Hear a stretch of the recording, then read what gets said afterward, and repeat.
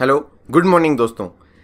26 जून 2018 की prelims updater series में आपका स्वागत है। आज के इस लेक्चर में हम द हिंदू, पे बी न्यूज़ ऑन एयर की जो इंपॉर्टेंट न्यूज़ है, वो हम यहाँ पे कंप्लीट करने वाले हैं। तो चलते हैं आज की हमारी डिस्कशन की तरफ़। सबसे पहले जो न्यूज़ आई है, वो आई है एक्चुअली मंगोलिया का एक प्रांत है, मंगोलिया का एक प्रोविन है। वहाँ पे इंडिया के द्वारा फंड किया जा रहा है ताकि वहाँ पे ऑयल रिफाइनरी वगैरह बनाई जा सकें। देखो सर आपको तो यहाँ पे इंपॉर्टेंट हमारे लिए होती है मंगोलिया की लोकेशन क्यों? क्योंकि मंगोलिया के अंदर उसकी लोकेशन काफ़ी स्ट्रेटजिक हो जाती है क्योंकि चाइना के बॉर्डर पर बनता है। ये एक प्रांत है उसका, जिसका नाम है डोरनगोवी ये प्रांत। ये आप देख सकते हो प्रोविन है एक्चुअली जो कि चाइना के बॉर्डर के जस्ट पास में है एक्चुअली यहाँ पे। तो यहाँ पे एक ऑयल रिफाइनरी बनाई जा रही है मंगोलिया के द्वारा और उसका जो फंड है वो इंडिया दे रहा है। क्योंकि मंगोलिया है, उसके लिए एनर्जी पूरी है, वो इम्पोर्ट की जाती है, बाहर से यहाँ पे कोई रिफाइनरी वगैरह नहीं है, जबकि इसके पास नेचुरल रिसोर्सेज काफ़ी ठीक ठाक हैं। तो इसीलिए इंडिया यहाँ पे फंड वगैरह कर रहा है। तो लोकेशन हमें थोड़ा पता होना चाहिए कि चाइना के जस्ट क्लोज में यहाँ पे इसकी लोकेशन है, या आप बेसिकली देख सकते हो मंगोलिया की लोकेशन अगर हम बात करें हमारे एशिया के मैप की मोटी मोटी तो ये यहाँ पर होगा हमारा प्यारा इंडिया यहाँ पे हो गया चाइना और फिर यहाँ पे आता है मंगोलिया। आप ये देख सकते हो मंगोलिया की लोकेशन यहाँ पे हो जाती है। ये काफ़ी अहम हो जाती है इसकी लोकेशन तो हमें इसके बारे में थोड़ा ध्यान होना चाहिए कि है कहाँ पे। क्योंकि कई बार यूपीएससी पूछ लेती है लोकेशन वगैरह तो मैनली एक ऊपर किसी नॉर्थ साइड देखोगे तो रसिया है साउथ साइड है, वो चाइना है यहाँ पे तो ऐसे इसकी लोकेशन थोड़ी हमें यहाँ पे ध्यान रखनी है। लैंडलॉक कंट्री है पूरी। अब हम चलते हैं आगे।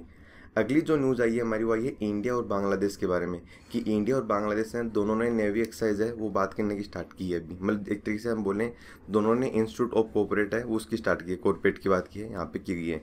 इंस्टीट्यूट एक कोऑपरेट का मतलब ये होगा कि नया एक इंस्टीट्यूट बनाया जा रहा है, जिसकी वजह से दोनों की जो नेवी हो आपस में कोऑपरेट होगा एक दूसरे का सहयोग है, वो करेंगे यहाँ पे। और पेट्रोल का मतलब आपको पता है कि एक तरीके से निगरानी के लिए पेट्रोलिंग वेसल होते हैं सेम वही कॉन्सेप्ट यहाँ पे है कि भाई क्योंकि आप एक चीज़ जानते हो कि इंडिया और इंडिया और बांग्लादेश दोनों का बॉर्डर शेयर होता है, और दोनों को काफ़ी खतरा रहता है नेवल वाले एरिया से मतलब समुद्री मार्ग से, कि वहाँ से रेफ्यूजी वगैरह ना आ सकें और भी काफ़ी सारे इशूज़ होते हैं। तो उन सब के लिए दोनों ने ज्वाइंट एक तरीके से कोऑर्डिनेट पेट्रोल है, उसकी स्टार्टिंग करने की बात है, वो की है। तो एक तरीके से हम बोल सकते हैं कि ऑपरेशन इंट्रैक्शन होगा इससे, वो बढ़ेगा, इसके साथ ही डिफेंस रिलेशन है इंडिया और बांग्लादेश के, वो यहाँ से इंप्रूव होने वाले हैं। तो ये आपको ध्यान रखना है कि रिसेंटली इंडिया ने किसके साथ नया कॉरपोरेट है, वो साइन किया है।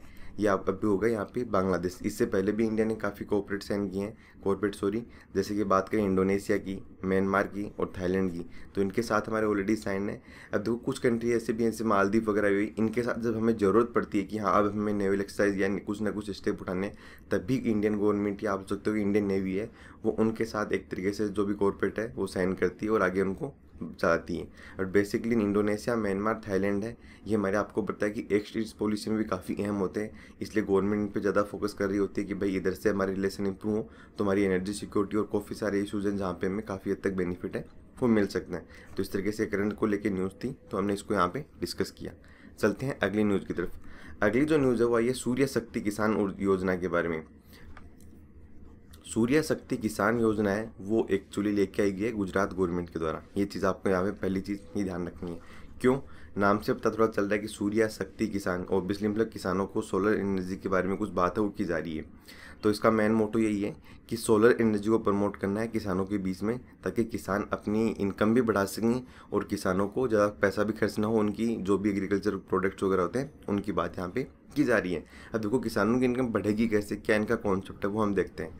इन्होंने ये कंसेप्ट लिया है इस स्कीम में कि भाई किसान है, उनको एक्चुअली सोलर एनर्जी प्रमोट करने के लिए काफ़ी सारे इक्विपमेंट और काफ़ी सारा फंड उनको दिया जाएगा। अब अगर किसान देखो सोलर एनर्जी प्रोड्यूस कर रहे हैं तो इसका होगा क्या? जैसे जब भी उनको खेतों में पानी वगैरह देना होगा फार्म वगैरह में तो उस सोलर एनर्जी का यूज़ करते हुए पानी दे सकते हैं तो उनका पास लाइट का बिल है, वो नहीं होगा एक्स्ट्रा लोड नहीं होगा उसका। इसके साथ ही, जैसे कि कई बार अगर आप बोल सकते हो कि सोलर लाइट का यूज़ नहीं कर रहे हैं तो उस कंडीशन में वो जो भी वहाँ पे डिस्ट्रीब्यूटर हैं, उनको लाइट्स बेच भी सकते हैं। बिजली जो प्रोड्यूस कर रहे हैं, वो इलेक्ट्रिसिटी वो उनको बेच सकते हैं कि हाँ भाई ठीक है। तो देखो, इसके लिए गवर्नमेंट ने एक इनिशिएटिव लिया है, जिस, जो कि पहले बहुत बड़ा इशू चल रहा था। पहले इशू ये चल रहा था कि गवर्नमेंट है वो किस रेट पर बिजली खरीदेगी भाई किसानों से वापस। जैसे किसान बिजली प्रोड्यूस कर रहे हैं, किसान ये मान लो कि एक दिन में बिजली प्रोड्यूस की सौ यूनिट जबकि किसान यूज़ कर रहा है पचास। तो ये मान लो कि पचास यूनिट बिजली रहेगी, वो कैसे उसको गवर्नमेंट कितने रुपए में खरीदेगी? दो रुपये एक रुपये तो पहले इशू ये था कि गवर्नमेंट काफ़ी सस्ती खरीद दी बट अब गवर्नमेंट ने कह दिया कि देखो, जब तक किसानों के पास लोन रहेगा मतलब जब तक प्रोजेक्ट के लिए लोन है, जैसे पाँच साल का लोन है तो पाँच साल तक तो जो यूनिट है, वो रहेगी सात रुपये पर यूनिट पर गवर्नमेंट खरीदेगी। इसके बाद में रेट हो जाएगी साढ़े तीन रुपये पर यूनिट तो इस तरीके का कॉन्सेप्ट गवर्नमेंट यहाँ पर लेके आई है, ताकि किसानों को लॉस ना हो। तो ये काफ़ी अच्छा कॉन्सेप्ट है। इसमें साथ ही गवर्नमेंट ने कुछ और टारगेट रखे हैं, जैसे इस स्कीम में होगा क्या कि गवर्नमेंट फाइनेंशियल एड दे रही है? जैसे कि साठ परसेंट जो पैसा है, वो तो दे रही है स्टेट और सेंट्रल गवर्नमेंट दोनों मिलके। ठीक है? पाँच परसेंट जो पैसा है, वो देना होगा, जो भी किसान है, उसको तुरंत देना होगा। इसके बाद में बचा थर्टी फाइव परसेंट बचा तो थर्टी फाइव परसेंट पैसा है, वो यहाँ पे लोन के फॉर्म में तैयार किया जाएगा। ये सारा कॉन्सेप्ट यहाँ पे बनाया गया है। लगभग एक सौ पिचहत्तर मेगावाट इलेक्ट्रिसिटी प्रोड्यूस करने का टारगेट रखा गया है इसमें। लगभग पंद्रह लाख फार्मर को बेनिफिट हो रहा है। तो ये सारा डाटा तो याद नहीं हो। बट अगर आपको थोड़ा सा मतलब एक दो पॉइंट यहाँ पर चीज़ रह जाती हैं तो हम आंसर राइटिंग में उसका काफ़ी अच्छा तरीके से यूज़ है, वो कर सकते हैं। जैसा कि देखो मैंने आपको बताया था कि आंसर राइटिंग के लिए नीचे आपको डिस्क्रिप्शन बॉक्स में लिंक मिलेगा। इसके साथ ही आप वेलकम यूपीएससी की जो पेज है फेसबुक पेज वहाँ से भी आप जा सकते हो। अन अकेडमी की वेबसाइट है। वहाँ पे आंसर राइटिंग के लगभग आठ दस लेक्चर हैं, वो अपलोड किए जा चुके हैं। उनमें क्वेश्चन है वो हिंदी और इंग्लिश दोनों मीडियम में। तो आपका आई होप लैंग्वेज का कोई इशू वगैरह वहाँ पे नहीं होगा। तो आप वहाँ पर डेली आंसर राइटिंग प्रैक्टिस है, वो कर सकते हो। इसके बाद में देखो, आगे इसका देखते हैं नया पॉइंट और नया पॉइंट से मैंने आपको बताया कि थर्टी फाइव परसेंट पैसा है, वो लोन की फॉर्म में लिया जाएगा। फाइव परसेंट है, वो पहले ही पे है वो करना होगा। तो ये सारा इसका कॉन्सेप्ट था। किसान इलेक्ट्रिसिटी प्रोड्यूस करेंगे। तो ऑब्वियसली अगर देखो किसान बेच रहे हैं लाइट तो उनको कहीं ना कहीं पैसा मिलेगा। अगर वो अपने घर में यूज़ करें तो उनके पास बिल नहीं बढ़ेगा। तो ये काफ़ी बेनिफिट इसके होने वाले हैं। चलते हैं अगली आर्टिकल की तरफ़। अगला जो आर्टिकल है, वो है रिमूव डेब्रिज मिशन के बारे में। तो देख लेते हैं क्या मिशन है रिमूव डेब्रिज मिशन है। देखो डेब्रिज का हम तो होता है मलबा। मलबे की बात करते हैं तो कि बात कहाँ की हो रही है? ये हो रही है मैनली स्पेस की। देखो स्पेस के अंदर आपको पता है सभी कंट्रीज़ है ना, वो एक तरीके से होड़ की फॉर्म में कुछ ना कुछ लॉन्च कर रही होती हैं। आज चाइना ने कर दिया, कल इंडिया कर रहा है, परसों यूएसए कर रहा है, फिर कोई कंट्री कर रही है। मतलब लगातार अंतरिक्ष में क्या है कि कुछ ना कुछ चीज़ें भेजी जा रही हैं। जैसे आप बोल सकते हो स्पेस क्राफ्ट भेजे जा रहे हैं, या फिर नया कोई आप बोल सकते हो सेटेलाइट भेजा जा रहा है, या फिर और भी काफ़ी तरह की चीज़ें वहाँ पर भेजी जा रही हैं टाइम टू टाइम रिसर्च वगैरह करने के लिए। तो ये सारा कॉन्सेप्ट वहाँ पर चल रहा है। अब आप एक चीज़ जानते हो कि अगर स्पेस में इतनी सारी चीज़ें भेजी जा रही हैं तो ऑब्वियसली कहीं ना कहीं तो ख़राब भी तो होती होंगी वेस्ट हो जाती हैं कुछ टाइम बाद। तो वेस्ट हो जाती हैं तो कचरा जाता है कहाँ पर जो उनका मलबा बचता है, वो मलबा एक्चुअली अर्थ के चारों जो है एरिया उसी में घूमता रहता है चारों तरफ़। अब आप ये खुद जानते हो कि अगर देखो ये मलबा चारों तरफ़ घूम रहा है अर्थ के चारों ओर, और यहाँ पे अगर कोई सही सेटेलाइट काम है मतलब परफेक्ट सेटेलाइट है, वो इस वाले एरिया में काम कर रहा है। अगर मलबा इससे टकरा गया तो होगा क्या? ओबियसली ये जो सही सेटेलाइट है, ये भी खत्म हो जाएगा, कहीं भी कचरा बन जाएगा। तो इस तरीके से हो क्या रहा है? अभी स्पेस के अंदर कचरा वो लगातार बढ़ता जा रहा है। क्यों? क्योंकि ऑलरेडी मलबा ज़्यादा हो रखा है, और वो मलबा क्या कर रहा है? सही सेटेलाइट या सही और भी जो इंस्ट्रूमेंट वगैरह हैं स्पेस में, उनसे टकरा रहा है तो वो भी वलमेर में कन्वर्ट होते जा रहे हैं। तो इस तरीके से इसको हटाने के लिए जो कचरा होगा ना मलबा, इसको हटाना पड़ेगा जाएगा ओबियसली स्पेस से और इसको हटाने के लिए मिशन है, वो चलाया गया है। उसकी बात यहाँ पे की जा रही है। और ये यूरोपियन जो रिसर्च, यूरोपियन यूनियन की रिसर्च प्रोजेक्ट है, ये आपको यहाँ पे ध्यान रखना है। रिमोट डेब्रिस मिशन है, वो है क्या? अब इस ये अभी रिसेंटली न्यूज़ क्या ये वो बताता हूँ। अभी रिसेंटली न्यूज़ ये आई है कि जो यूरोपियन यूनियन का रिसर्च प्रोजेक्ट था, उन्होंने ये चीज़ का कॉन्सेप्ट यहाँ पे लेके आए हैं कि भाई देखो जो ऑर्बिट मिशन है पासवर्ड मतलब अर्थ के बाहर जो ऑर्बिट है, जिसमें एक्चुअली सेटेलाइट वगैरह घूमते हैं, उस ऑर्बिट में हम एक्चुअली देखेंगे कि जो एक्टिव मलबा है ना, जो मतलब मलबा काम कर रहा है ये देखो, कुछ मलबा तो बहुत दूर जा चुका है अर्थ से तो उसकी तो कोई बात नहीं है। बट जो मलबा अर्थ के जो साइकिल रेडियस है आई रेडियस नहीं अर्थ की जो आप बोल सकते हो ऑर्बिट है जिनमें सेटेलाइट घूमते हैं, उस ऑर्बिट में अगर है तो उसको टेक्निकली तरीके से मतलब कहीं ना कहीं वापस अर्थ पर लेके आ जाए या उसको ख़त्म किया जाए वहाँ से। ये कॉन्सेप्ट है यहाँ पे।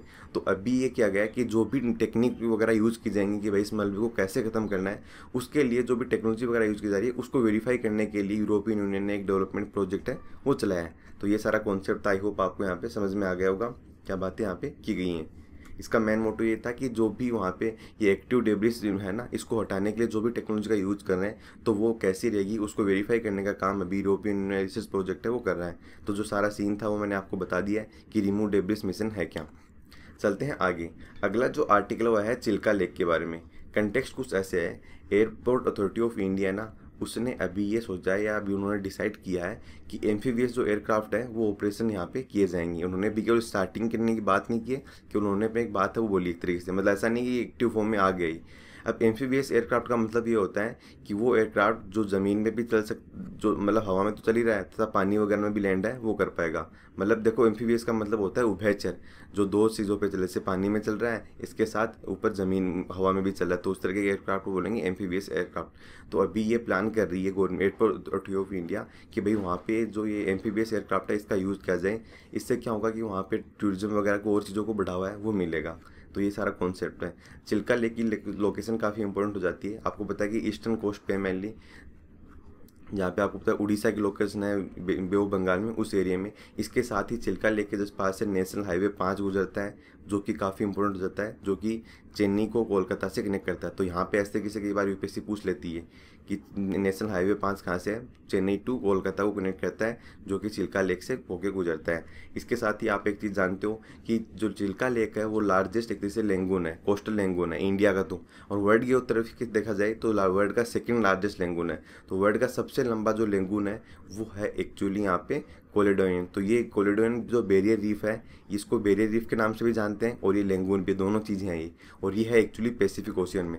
देखो जो आपको बता दूँ मैक्सिमम जो बेरियर रीफ होती है ना, वो पैसिफिक ओशियन में ही है। ऐसा नहीं कि कहीं और नहीं पाई जाती बट मेरा कहने का मतलब यहाँ पे कि मैक्सिमम जो बेरियर रीफ है, वो उसी वाले एरिया में पैसिफिक ओशियन वाले एरिया में तो अगर आपको एग्ज़ाम में से आपके पास कोई ऑप्शन नहीं हो, कुछ समझ में नहीं आ रहा हो तो उस कंडीशन में हो सकता है आपके लिए हेल्पफुल हो जाए कि भाई जो बेरियर रीफ है, वो पैसिफिक ओशियन में ही थोड़ी ज़्यादा है। तो इस तरीके से आप इनका यूज़ है, कर सकते हो। तो वर्षों की सबसे लंबी जो बेरियर रीफ बोलोगे आप, वो तो हो जाएगी, आप लेंगुन बोलोगे, वो तो हो जाएगा।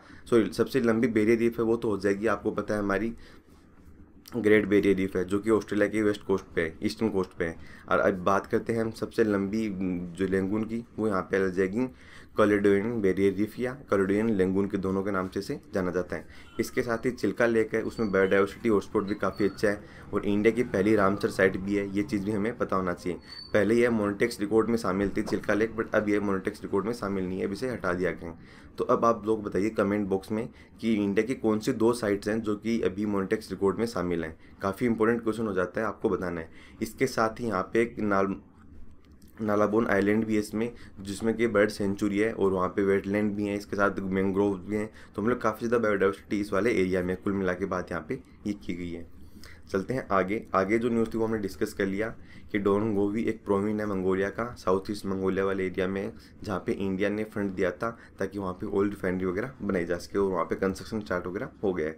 इसके बाद में जो न्यूज़ आई है, वो आई है ओपे कंट्री के बारे में और टाइट ऑयल के बारे में। तो देखो ओपे कंट्री का सिस्टम क्या है, वो हम देख लेते हैं। ओपे का मतलब है organization of the petroleum exporting countries मतलब वो कंट्री जिन्होंने जो कि पेट्रोल वगैरह जो पेट्रोलियम प्रोडक्ट होते हैं, इनका एक्सपोर्ट करती हैं। तो देखो ऑब्वियसली इंडिया तो इनमें नहीं होगा, क्योंकि इंडिया की थोड़ी पेट्रोल वगैरह प्रोड्यूस करता है। तो ये मेनली कुछ, वो कुछ कंट्रीज़ हैं जिन्होंने कार्टल बना रखा है, जैसे कि सऊदी अरब हुआ वेनेजुला हुआ, इन कंट्रीज़ ने मिलकर कार्टल बना रखा है, जिसका मेन मोटो है कि भाई जो ऑयल प्राइस है, इनको या ऑयल की जो प्रोडक्शन और प्राइस है, इनको दोनों को कंट्रोल किया जा सके, इसके लिए काम करते हैं। तो अभी न्यूज़ ये है कि ओपे कंट्रीज़ ने इस बात पर सर्वसहमति बना ली है कि भाई अब हम ऑयल का प्रोडक्शन है, वो बढ़ा देंगे। क्योंकि देखो इंटरनेशनल मार्केट में ऑयल के दाम बढ़ रहे थे और डिमांड ज़्यादा हो रही थी तो एक तरीके से सभी कंट्रीज़ हैं ना, उन्होंने एक तरीके से आरोप मतलब बातचीत की और ओपे कंट्रीज़ इस बात पे राज़ी हो गए कि हाँ भाई हाँ हम जुलाई से ऑयल प्रोडक्शन है, वो बढ़ा देंगे। पेट्रोलियम प्रोडक्शन की बात वो यहाँ पे हुई है। तो कंटेक्स कुछ ऐसा है, इसका हेडक्वार्टर है वो इराक के बगदाद में 1961 में बना था। तो इतना सब कुछ याद नहीं रखना है कौन कौन से मेंबर वगैरह हैं, बस जो सीन था वो बता दिया। अब यहाँ पे एक वर्ड आता है टाइट ऑयल क्या होता है? टाइट ऑयल का मतलब वो होता है, एक तरीके का ऑयली होता है ये, जो कि पाया जाता है यहाँ पे Amperian soil empyrean cell sorry और इसके साथ ही लाइम स्टोन जो रोग होती हैं वो। लाइम स्टोन रोग का मतलब जो चुनने की जो होती हैं, रोग होती हैं, चट्टान होती हैं, उनके अंदर पाया जाता है डिकम्पोज की फॉर्म में। इसके साथ ही एम्पीरियल जो सेल होती हैं, जिनको भेदा नहीं जा सकता मतलब जिनके आर पार कुछ चीज़ें नहीं जाती हैं, उन सेल सेल होती हैं, उन चट्टान होती है, उनके बीच में है, पाया जाता है। मतलब काफ़ी मुश्किल से अंदर, दरारों के अंदर भरा हुआ ऑयल होता है, उसको बोलता है टाइट ऑयल तो ये आपको ध्यान रखना कि टाइट ऑयल होता क्या है। जिस तरीके से देखो सेल गैस का कॉन्सेप्ट क्या होता है? कि दरारों के अंदर थोड़ी मात्रा में पाई जाती है। तो सेम वही कॉन्सेप्ट ही है कि एम जो टाइट ऑयल है, वो भी सेल गैस ही है। तो यहाँ पे आप कन्फ्यूज़ नहीं हो सकते मतलब आपको ये चीज़ समझ में आ गई होगी। नेक्स्ट जो न्यूज़ है, वो ये है कि एक सेकेंड एन आई एफ़ के बारे में है और ए आई बी के बारे में। ए आई आई बी कंटेक्स्ट क्या है, वो भी हम देख लेते हैं। कंटेक्स्ट ये है कि जो ए आई आई बी है, उसने अभी यहाँ पे फंड है, वो प्रोवाइड किया है एन आई आई एफ़ को।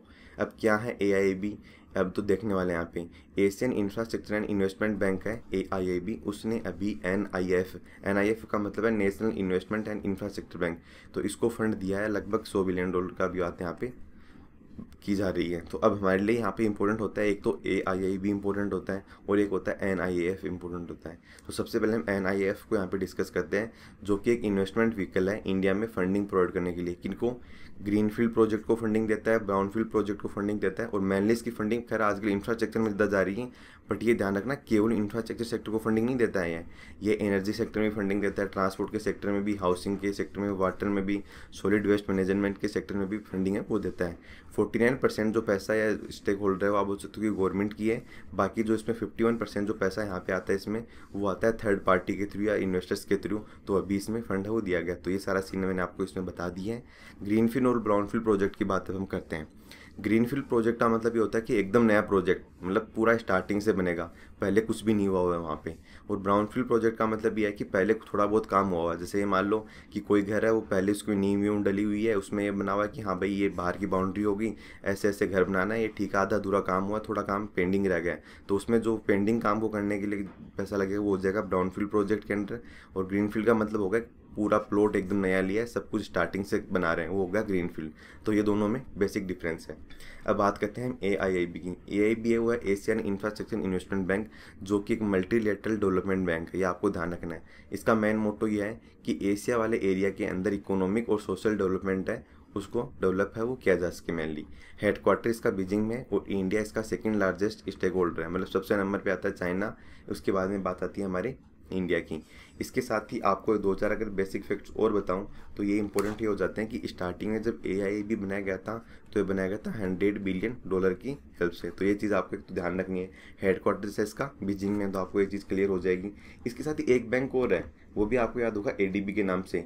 एडीबी है, वो ध्यान रखना है, केवल एशिया में काम नहीं करता है, और ना ही इसका सीन है एआईबी भी ऐसा नहीं है कि केवल एशिया में ही काम करता है। और भी कई कंट्रीज़ इससे लोन लेती हैं, और इंपॉर्टेंट फैक्ट आपको इन दोनों के बता देता हूँ। ए का इंपॉर्टेंट फैक्ट एक ये है कि इसमें यूएसए और जापान मेंबर नहीं है इसके। तो आप इस चीज़ को लेकर कन्फ्यूज़ मत होना। यूएसए इसका मेंबर नहीं है और जापान भी इसका मेंबर नहीं है। ये काफ़ी इंपॉर्टेंट फैक्ट बन जाता है। क्योंकि जो एक एडीबी बैंक भी है एशियन डेवलपमेंट बैंक, वो एक्चुअली सोशल और इकोनॉमिक दोनों डेवलपमेंट के लिए वो बैंक भी, उसका हेडक्वार्टर फिलीपींस में है और उसका मेन काम ये होता है कि वो लोन वगैरह देता है इंफ्रास्ट्रक्चर वगैरह के लिए भी ये चीज़ यहाँ पे इंपॉर्टेंट होती है। तो दोनों में डिफरेंस क्या वो मैंने आपको बता दिया। ए भी है, उसमें जापान भी नहीं है और ना ही यू जबकि ए डी बी है, उसके अंदर यू एस ए जापान है, यहाँ पर बात वो की जा रही है। तो ये कुछ बेसिक चीज़ें थी डिफरेंस थे वो मैंने आपको यहाँ पे बता दी। इसके अलावा अगर आपको कोई भी इशू हो तो आप कमेंट बॉक्स में बेसिक पूछ सकते हो। तो फ़िलहाल की डिस्कशन में इतना ही है। Thank you very much for discussion